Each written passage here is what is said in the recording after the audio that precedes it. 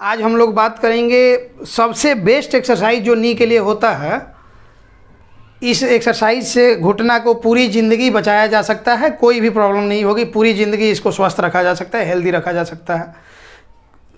Cartilage थोड़ा बहुत घिस जाता है जिन लोगों में, उन लोग ये रेगुलर एक्सरसाइज प्रैक्टिस करें तो ज़िंदगी भर उनको ना रिप्लेसमेंट की ज़रूरत पड़ेगी और ना ही किसी भी तरह के ऑपरेशन की ज़रूरत पड़ेगी। हमेशा स्वस्थ रहेंगे, हमेशा सही रहेंगे, कोई दिक्कत नहीं होगी। तो आज देखते हैं नी जॉइंट के लिए क्वाड्रीसेप्स मसल जो होता है, ये क्वाड्रीसेप्स मसल होता है, ये थाई का जो मसल होता है, ये होता है क्वाड्रीसेप्स मसल ये नी का एक्सटेंसर मसल होता है। हम लोग जो खड़े होते हैं तो पैर पूरा एक्सटेंड है नी पूरा एक्सटेंड है तो उसी, ये क्वाड्रीसेप्स मसल का ही एक्शन होता है। तो ये नी का एक्सटेंसर मसल होता है। सबसे ज़रूरी होता है इसमें क्वाड्रीसेप्स मसल को मज़बूत करना। ये जो जांग की मसल है, इसको मज़बूत करना, इसको मज़बूत करने के लिए सबसे बेस्ट एक्सरसाइज जो होता है क्वाड्रीसेप्स का स्ट्रेंथनिंग एक्सरसाइज जिसको प्रोग्रेसिव रेसिस्टिव एक्सरसाइज भी बोलते हैं। और नॉन वेट वियरिंग एक्सरसाइज है। इस मतलब इस पे घुटना पे किसी भी तरह का वेट नहीं दिया गया है। एकदम फ्री है, घुटना यहाँ बाहर है और पैर नीचे लटका हुआ है। घुटना पे किसी भी तरह का ज़ोर नहीं पड़ना चाहिए। तो आइए देखते हैं कि इसके लिए क्या क्या करते हैं सबसे पहले ये जो दोनों घुटना है, ये आपस में सटा होना चाहिए। ये दोनों घुटना को आपस में सटा होना चाहिए। थोड़ा सा भी इसमें गैप नहीं होना चाहिए, एक उंगली का भी गैप नहीं छोड़ना होता है। क्योंकि जो भी एक्सरसाइज करेंगे, उसमें घुटना पे थोड़ा भी जोड़ नहीं पड़ना चाहिए, एक परसेंट का भी जोड़ नहीं पड़ना चाहिए घुटने पे। तब जाके सही एक्सरसाइज होगा और क्वाड्रीसेप्स का स्ट्रेंथनिंग सही रूप से हो पाएगा। तो ये हो गया, घुटना को सटा लेते हैं। और आते हैं यहाँ नीचे, पैर में ये जो दोनों हमारा अंगूठा होता है, इसको क्या करते हैं, दोनों सटा के और किसी भी स्ट्रिप वगैरह से या फिर बाल को बांधने वाला रबर जो होता है, उससे मैंने बांधा हुआ है इसको। तो इससे भी आप बाँध सकते हैं घर पे। और ये है वेट कफ दो केजी का वेट कफ मैंने डाला हुआ है अभी। आप सैंड बैग बना सकते हैं कपड़ा में बालू भर के और दो के जी तीन के जी अलग अलग एक एक के जी हाफ़ के जी इस तरह का सैंड बैग बना सकते हैं और उसमें रस्सी से बाँध सकते हैं पैर में।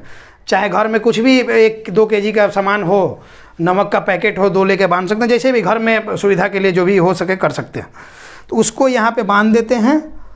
उसके बाद अब देखते हैं कि कैसे एक्सरसाइज करते हैं। ये घुटना जो है, आपस में सटा होना चाहिए। इसको या तो यहाँ पर भी किसी रस्सी या रबर से बाँध देंगे। नहीं तो क्या करते हैं, इसे पेपर या टॉवेल लेके इस बीच में प्लेस कर देते हैं। दोनों घुटना के बीच में प्लेस कर देते हैं। और ये पेशेंट को ये होना चाहिए कि ये दबा रहे, ये पेपर छूटे नहीं, या फिर तौलिया हो, या फिर इसमें के बीच में जो भी हो, वो एकदम दबा रहा। तब जाके होगा कि नी पे थोड़ा भी ज़ोर नहीं पड़ेगा और क्वाड्रीसेप्स का सही स्ट्रेंथनिंग एक्सरसाइज होगा। तो अब देखते हैं कि एक्सरसाइज का पैटर्न तो सबसे पहले ये नी है, सबसे जितना अंदर तक जा सके ये जाएगा, उसके बाद धीरे धीरे इसको उठाएँगे। ग्रेजुअली उठाएँगे धीरे धीरे उठा के पाँच सेकेंड तक होल्ड करते हैं। फिर उसको नीचे ले जाएँगे। फिर उठाएँगे। ये देख रहे हैं पूरा क्वाड्रीसेप्स का स्ट्रेंथनिंग एक्सरसाइज होगा, पूरा ये स्ट्रेचिंग भी होगा और स्ट्रेंथनिंग एक्सरसाइज दोनों होगा। उठाओ। ये पेपर ये ध्यान रहे कि पेपर ये जो है बीच में ये दबा होना चाहिए। दोनों घुटना आपस में सटा होना चाहिए। तो ये होता है क्वाड्रीसेप्स का स्ट्रेंथनिंग एक्सरसाइज इसको प्रोग्रेसिव रेसिस्टिव एक्सरसाइज बोलते हैं। धीरे धीरे क्या करते हैं? जैसे जैसे पेशेंट का पावर आते जाता है वेट को धीरे धीरे बढ़ाते जाते हैं। रिपीटिशन भी बढ़ाते जाते हैं। शुरू में पाँच सेकेंड होल्ड करते हैं पंद्रह से बीस रिपीटिशन कर सकते हैं फिर धीरे दिन पर दिन बढ़ाते जाते हैं। ये हमेशा करेंगे जो रेगुलर इसको एक्सरसाइज नियमित रूप से इस, इस एक्सरसाइज को करते रहेंगे उनका घुटना में कभी ज़िंदगी भर कोई परेशानी नहीं आएगी। नी रिप्लेसमेंट की कभी ज़रूरत नहीं पड़ेगी कितना भी घुटना ख़राब हुआ हो। ये एक्सरसाइज करते रहेंगे तो सब ठीक रहेगा।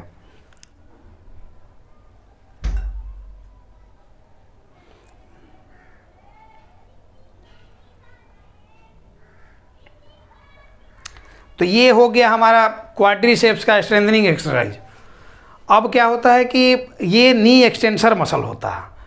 अब हम देखेंगे नी फ्लेक्सर मसल का भी स्ट्रेंथनिंग करना ज़रूरी होता है, जो कि हमारा पोस्टेरियर थाई मसल होता है, यहाँ पे ये हैमस्ट्रिंग मसल होता है। तो हैमस्ट्रिंग मसल का भी स्ट्रेंथनिंग ज़रूरी होता है, नी का प्रॉपर फंक्शनिंग के लिए, सही से काम करने के लिए। तो अब हम देखेंगे इसका हैमस्ट्रिंग का स्ट्रेंथनिंग एक्सरसाइज तो हैमस्ट्रिंग का स्ट्रेंथनिंग एक्सरसाइज कराने के लिए पेशेंट को क्या करेंगे, इसे प्रोन पोजीशन में लेटा देंगे। प्रोन पोजीशन में लेटा देंगे, घुटना के नीचे एक पिलो प्लेस कर देंगे। इस तरह का गोल वाला तकिया या फिर इस तरह का, या फिर तौलिया प्लेस कर देंगे? जी। को उस पर रख देंगे। अब क्या करेंगे कि पेशेंट को बोलेंगे इसको घुटना को मोड़ने के लिए। ये जहाँ तक मोड़ सके, वहाँ तक मोड़ना होता। है ये प्लेस कर देने से क्या होगा कि घुटना पे किसी तरह का ज़ोर नहीं पड़ेगा और ये हैमस्ट्रिंग मसल टाइट होगा। और वेट इसमें बंधा हुआ है तो हैमस्ट्रिंग मसल का स्ट्रेंथनिंग एक्सरसाइज भी होगा। क्योंकि रेसिस्टेंस दिया हुआ है तो स्ट्रेंथनिंग एक्सरसाइज हो रहा है। फिर उसके बाद सीधा करना है। धीरे धीरे नीचे की तरफ़ ले आना है। फिर धीरे धीरे ऊपर की तरफ़ ले आना है। कोई भी विग्रस एक्सरसाइज नहीं करना है इसमें।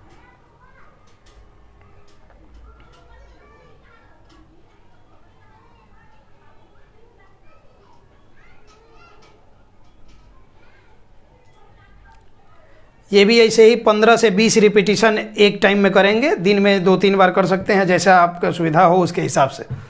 जितना करेंगे, उतना ये मसल मज़बूत होगा।